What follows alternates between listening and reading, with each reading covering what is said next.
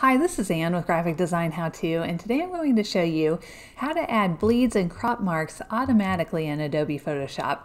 Sort of, anyway. All right, let's get started. In case you're a little bit curious about why you actually need bleeds, I printed off this piece of paper that shows why they're necessary. Okay, so I printed two versions of this.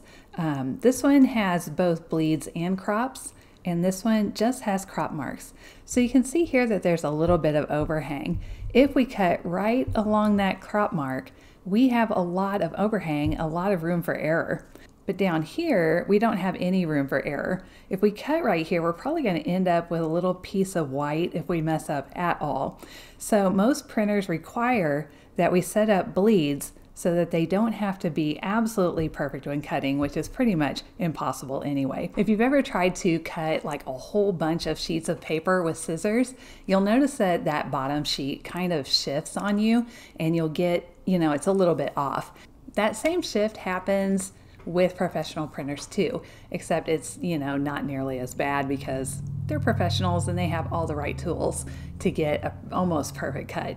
But they do have a little bit of shift, and that's why bleed is so important. When you're setting up bleed, the standard size is an eighth of an inch or three millimeters. I think that comes out exactly the same. Now, Photoshop doesn't actually have built-in tools for bleeds and crops, but you can do it through the print dialog box as long as you have any printer set up or a virtual printer. So I'll show you how to do that now. First, we'll create a new document. So I'll go to File, New.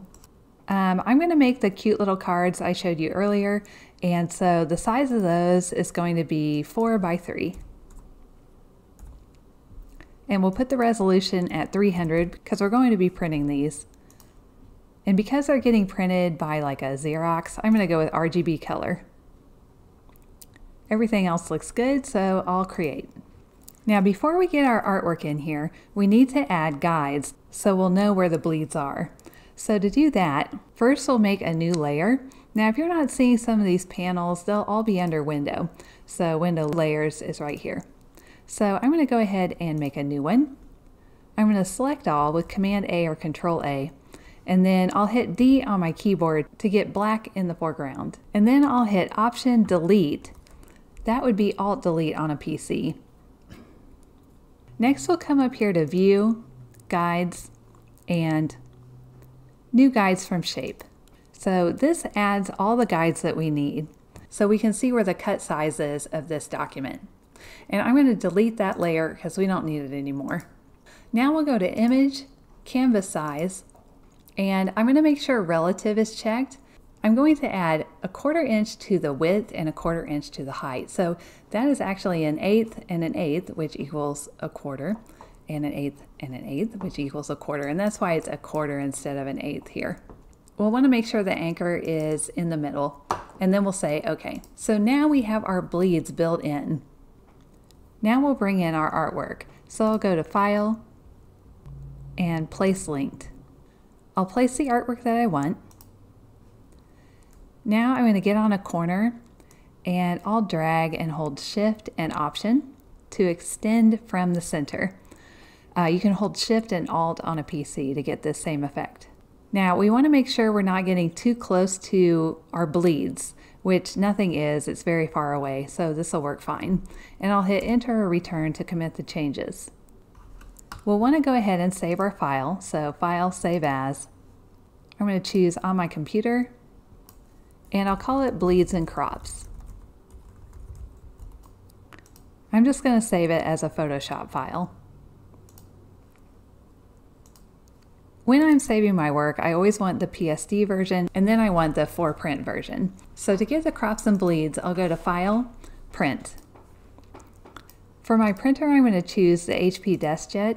Now, if you don't have a printer set up at all with your computer, um, you'll need to set up a virtual printer. And there will be a video at the top of your screen right now that shows you how to set that up. But it's really nice to have because you'll be able to save as a PDF from any program after you have that set up. And it's really easy to do. And actually, I'll go ahead and use my virtual printer that I have set up. We'll want to scroll down a little bit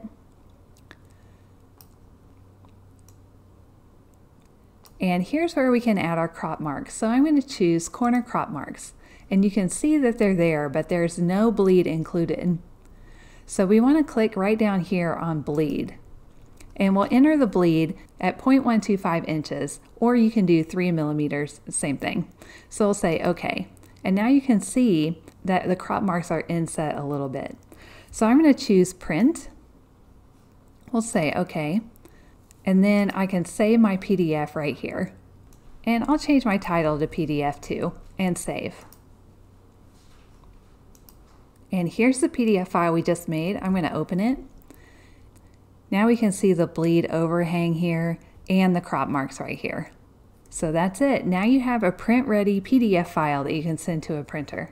Alright, if you like this video and you want to see more videos like this, just hit the subscribe button and the little bell next to it and you'll be notified every time a new video comes out.